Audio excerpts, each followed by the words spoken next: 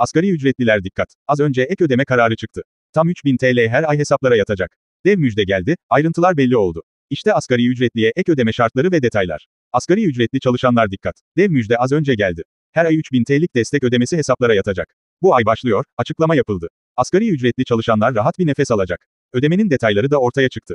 Zam sevincini yaşayan asgari ücretli çalışanlar bu haberle de sevinçten dört köşe olacak.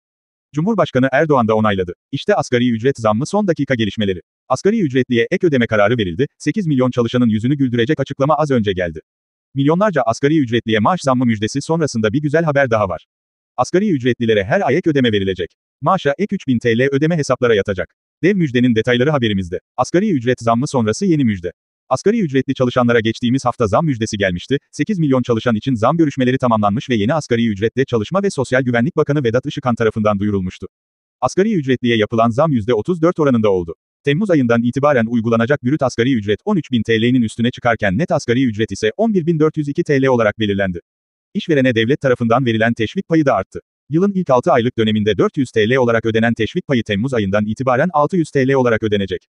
Asgari ücretliye maaş zammı sonrasında yeni bir müjde daha geldi. Maaş zammına ek yardım ödemesi de yapılacak, 8 milyon çalışana maaşa ek ödeme var. 3000 TL ek ödeme sağlanacak. Asgari ücretliye ek ödeme müjdesi az önce verildi. Maaşa ek ödeme hakkı geldi. Tam 3000 TL ek ödeme müjdesi var. Asgari ücretliye her ay destek ödemesi yapılacak. Artık maaşa ek verilecek bu ödemeler sayesinde asgari ücret 15.000 TL'ye kadar dayanacak. Milyonlarca asgari ücretli uzun süreden beri yardım ödemesi için beklenti içindeydi. Nihayet bu müjde de geldi. Asgari ücretliye maaşa ek destek ödemesinin Temmuz ayından itibaren başlayacağı da gelen bilgiler arasında yer alıyor. Yani Temmuz ayında zamlı maaş alacak olan asgari ücretli çalışanlar ek ödemeleri de almaya başlayacak.